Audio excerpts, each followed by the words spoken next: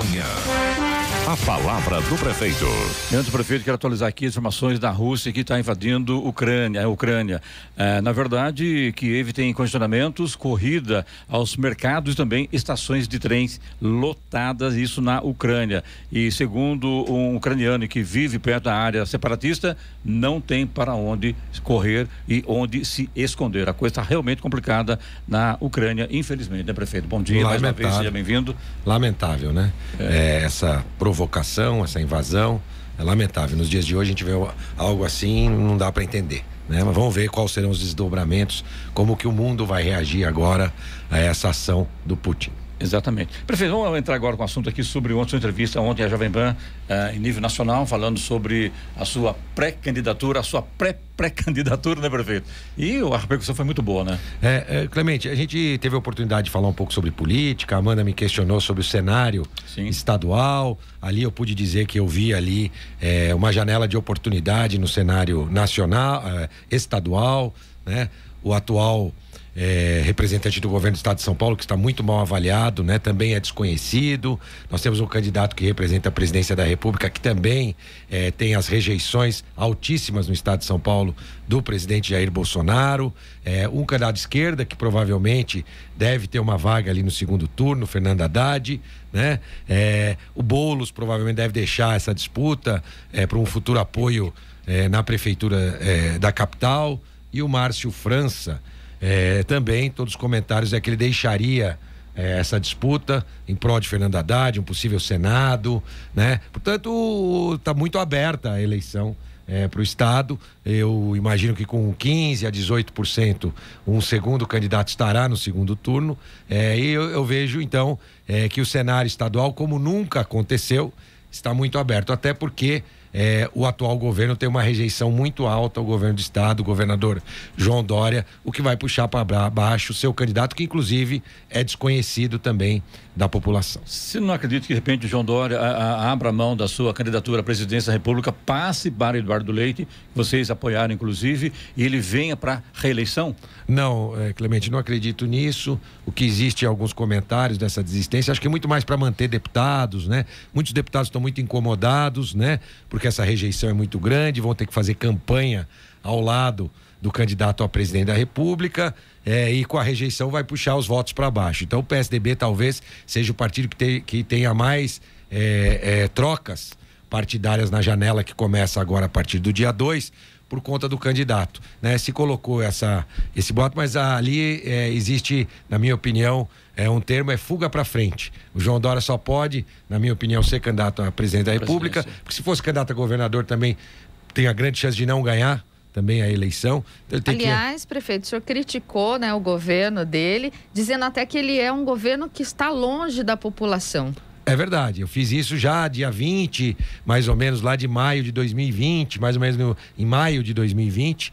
É, eu fiz um artigo aqui para o jornal local, que era um governo longe das pessoas. O Estado em si, Giovana, já não tem uma participação tão ativa no dia a dia das pessoas.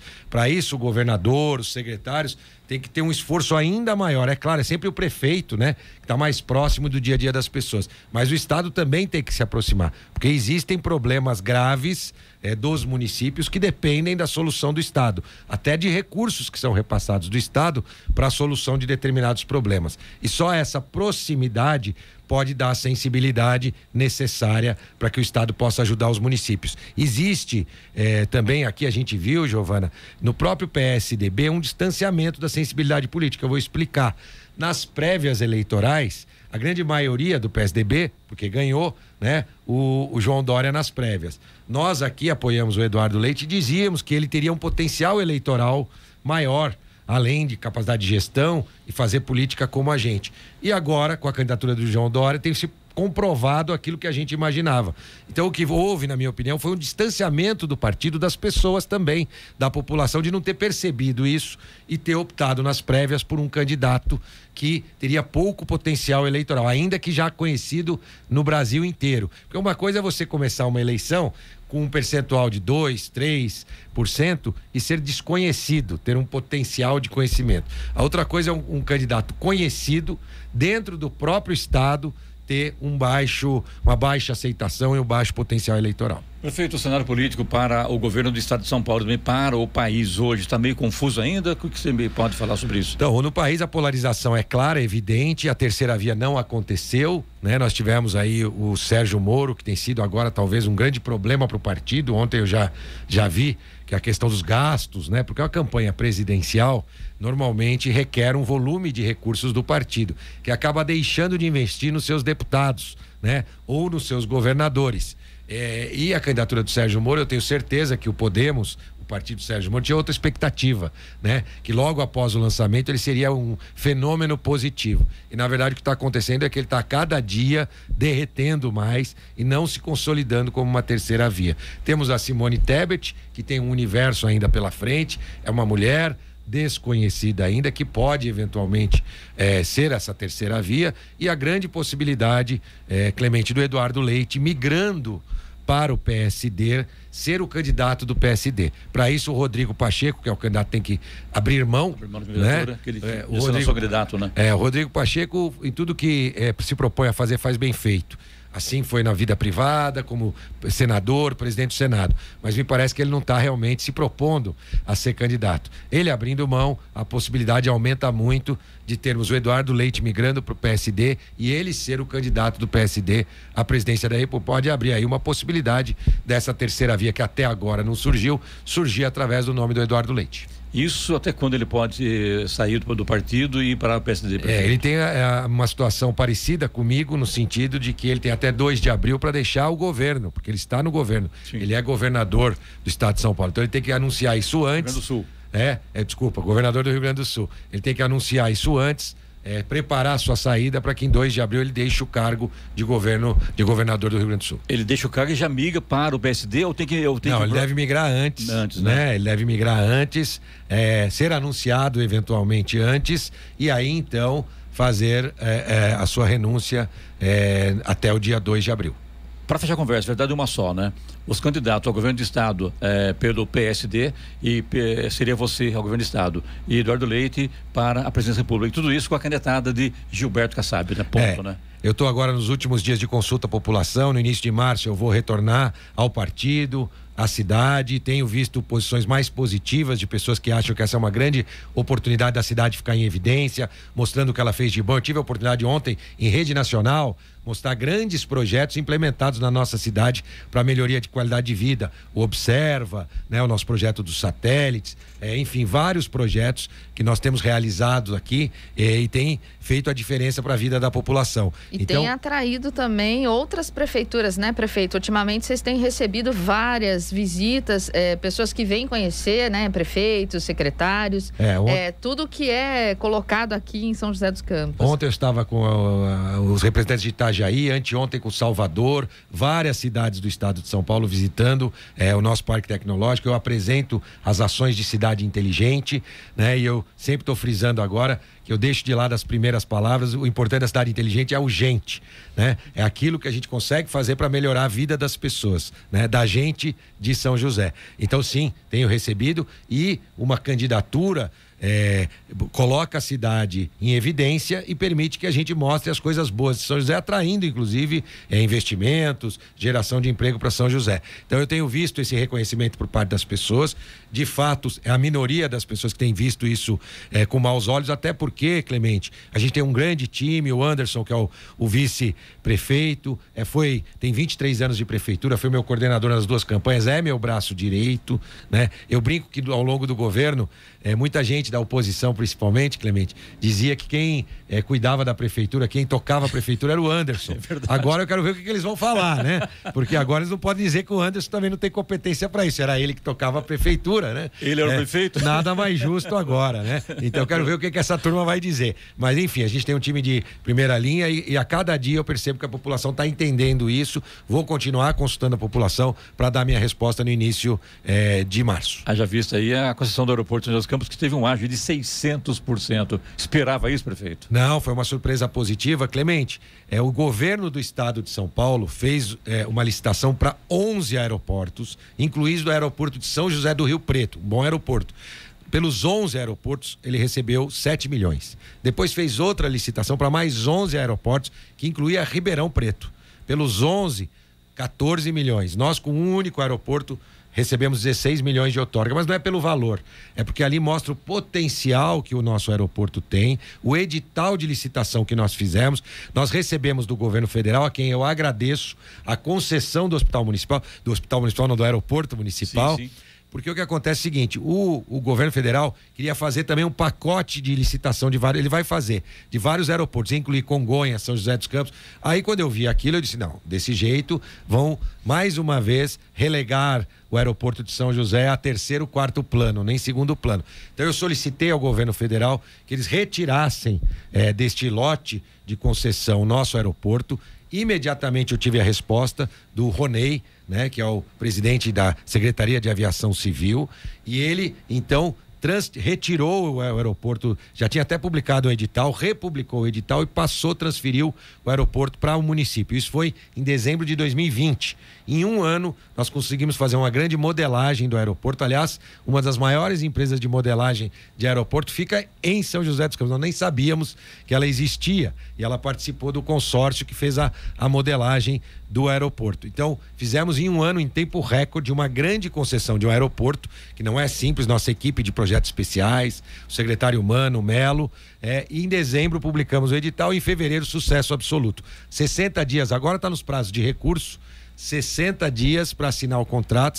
Aliás, a gente assina o contrato, em 60 dias a empresa já assume, já assume. o aeroporto. O que, que muda, prefeito, daqui para frente? Com... Ah, muita coisa, né? Para a é. população, agora o aeroporto passa a ter sentido para quem opera. A Infraero tinha vários aeroportos e deixava aí o, o nosso aeroporto como a reserva da reserva da reserva. Agora não aumento do volume de cargas, nós queremos transformar num grande centro, um hub de e-commerce internacional, trazendo cargas de fora e distribuindo pelo Brasil inteiro. Voos de passageiros, a empresa já opera voos de passageiros no aeroporto de Cabo Frio, né? E até mesmo ampliar os jatos executivos, a possibilidade de atender bem quem é, quer fazer voos executivos. Então a perspectiva é de geração de emprego, impostos para toda a cadeia, desde a pessoa que atende lá no balcão, que aliás hoje eu lanço os cursos do CEPAS para a área aeroportuária, Exatamente. de atendente de balcão de companhia aérea, é, de atendente de pátio, de operador de pátio. Nós já vamos lançar os cursos também. Então vai ampliar a geração de emprego e renda para todos, até para o taxista, para o motorista do Uber. Então,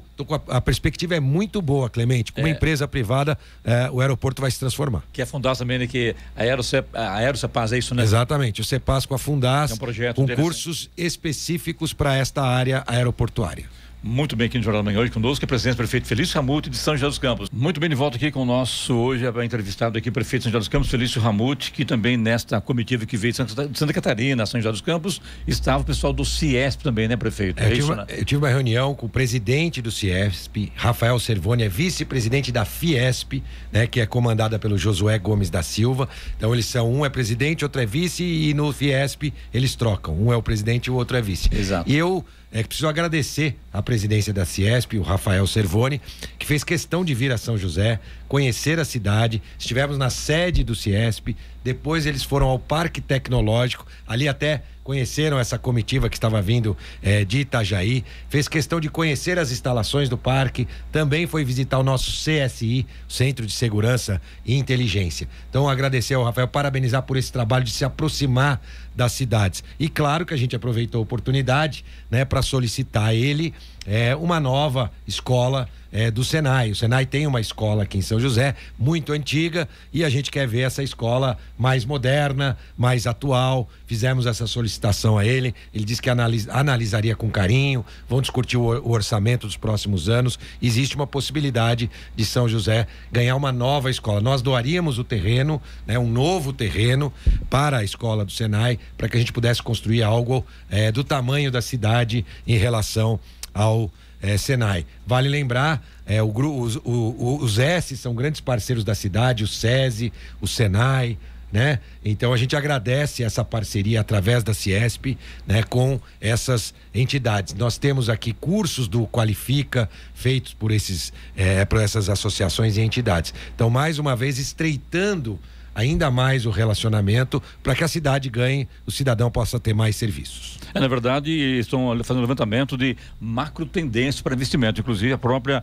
Alexandra Gioso, que é diretora atual do CIESP aqui no Senhor dos Campos, também está com esse projeto em mãos também, né, prefeito? É, a Alexandra foi, na verdade, a nossa grande anfitriã né, que recebeu é, no Ciesp é, é, toda essa comitiva de São Paulo, seus diretores, o Terra. Então a gente já percebe ali é, que o trabalho do Ciesp vai ser muito, muito produtivo por conta dessa proximidade com as cidades, entendendo as necessidades específicas. É, e o Ciesp, através das suas entidades, tem grande, um grande leque de possibilidades. Eles estão muito atualizados. O Terra é um diretor que cuida de todas essas questões de inovação, tecnologia, que também esteve presente, bem como toda a diretoria do Ciesp. Mais uma vez agradecer a Rafael Servoni por essa atenção especial com a cidade e com a região. Aliás, não tem como não falar de Ciesp não falar de SESI também, né? O próprio diretor lá, o Fred Brito também, à frente aqui em São José dos Campos e também em Jacareí. Então, realmente, eles fazem um trabalho interessante para a população, né, prefeito? É verdade, o um trabalho muito bom já que era comandado pelo Paulo Scaff e que eu percebo agora que esse novo time que assumiu, seja na Fiesp, o Josué, como o Rafael eh, no Ciesp, eh, vão fazer um trabalho também eh, de evolução daquilo que já foi realizado. Giovana. Prefeito, quero falar de um ponto. É, o senhor está sendo criticado pela oposição pela proposta da reforma da Previdência para os servidores municipais. O que, que o senhor está propondo? Vai mexer em algum ponto crucial? Por que, que ela está sendo feita? Queria que o senhor explicasse. Giovana, eu ia me assustar se a oposição estivesse me elogiando. Eu ia até ficar assustado. Na verdade, eles aproveitam politicamente um momento.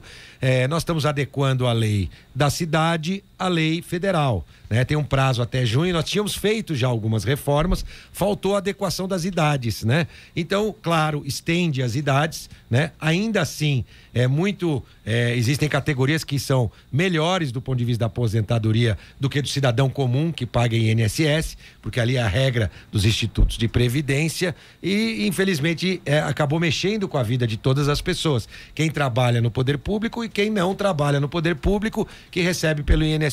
Essa adequação está sendo feita, existem benefícios também nessa lei. É, até citar, né? Tem o Luizinho, que é um deficiente, portador de deficiência, que trabalha com a gente no sede do Passo e que ele tinha que se aposentar na idade das outras pessoas. Agora reduz a idade, não só para ele, como para todos os outros. Então tem benefícios também na lei.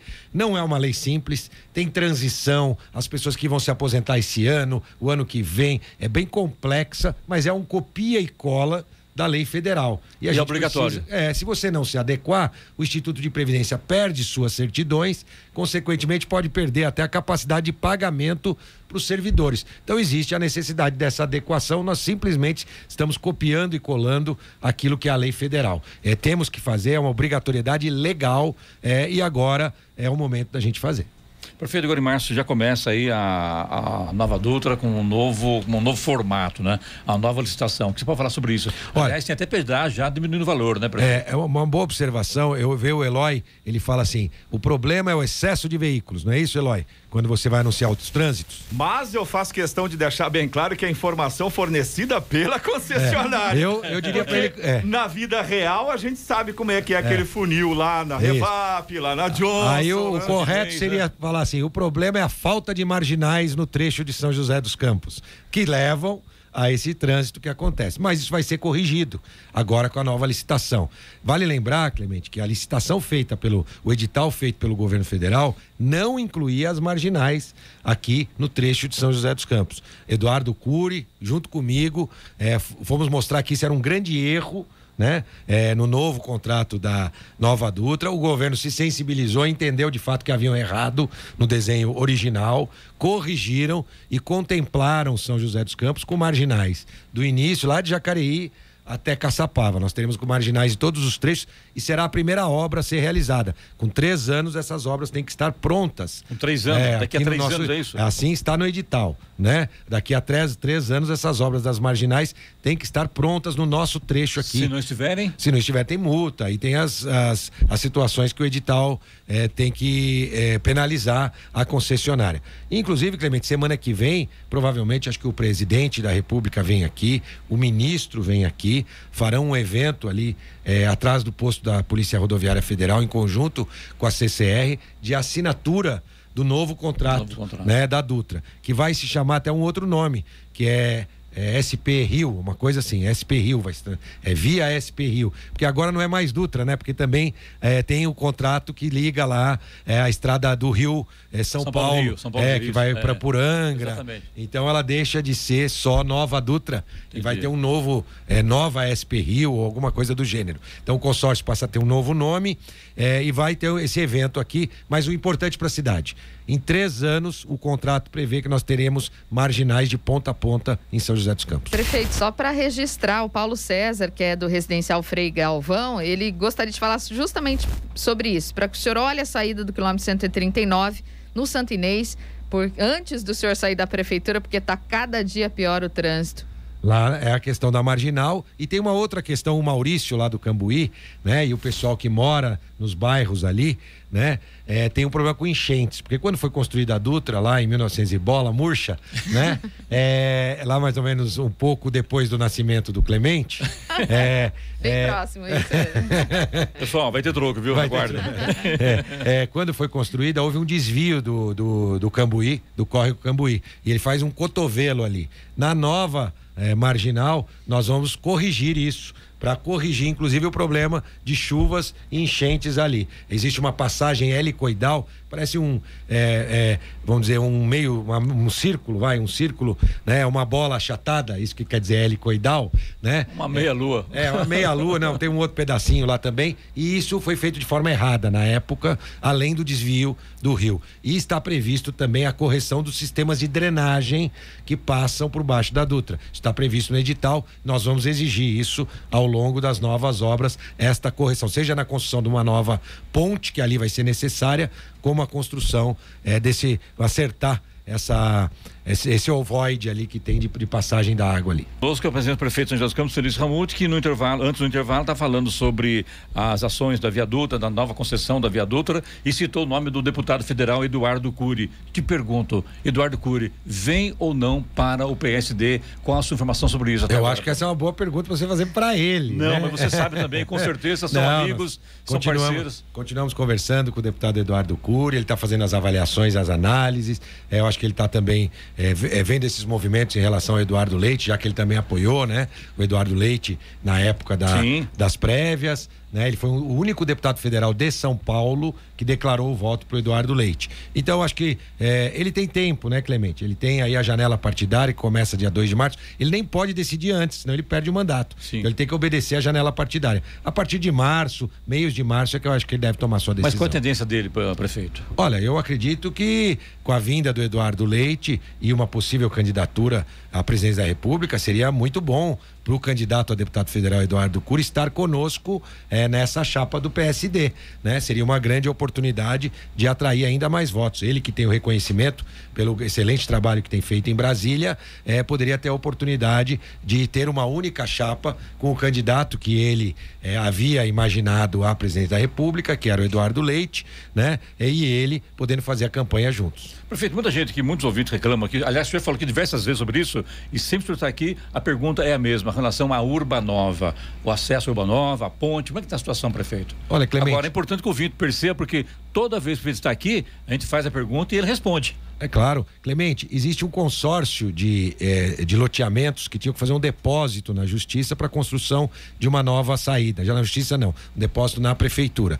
Ainda não se completou esses recursos, esses investimentos dos loteamentos da iniciativa privada. Porque era mais ou menos assim. Lá atrás, quando começaram a fazer novos loteamentos, a contrapartida deles era dar um recurso para construir a nova. Tem muitos loteamentos lá que não aconteceram ainda e que precisam depositar. Teve gente até que agora está pedindo na justiça o dinheiro de volta, mas na verdade estava muito claro ali que eles deveriam fazer esse depósito como contrapartida para uma futura segunda saída. Porque isso já era previsto, viu, Clemente? Lá atrás, as nossas equipes já previam, por isso exigiram essa contrapartida de todos esses empreendimentos. Depois que todos os empreendimentos depositados, como estava previsto, vai existir mais possibilidades da segunda saída, mas existe uma contrapartida necessária. O que nós temos hoje, o problema não é a saída da Urbanova ou a ponte da Urbanova. O problema se dá ali perto do Termas do Vale, naquele entroncamento. Nós temos um projeto ali que nós vamos fazer ao longo da gestão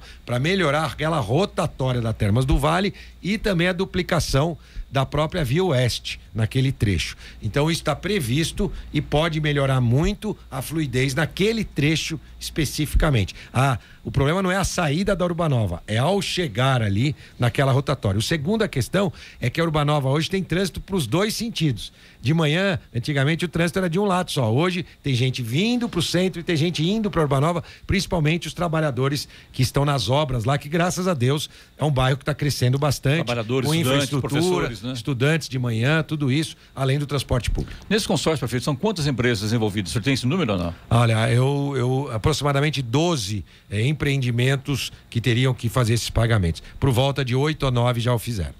8 ou 9, então faltam 3 ou 4 no máximo. É, só que são maiores, né? Portanto, que teriam uma contrapartida maior, porque a contrapartida é equivalente à área do empreendimento. Não cabe a prefeitura informar também aos moradores do Urbanova sobre esse problema, quais são essas empresas, porque para que haja cobrança também dos moradores de lá com relação a essas empresas, prefeito, para agilizar é, a coisa. Não, é mais fácil colocar a culpa no prefeito, né, Clemente? acho.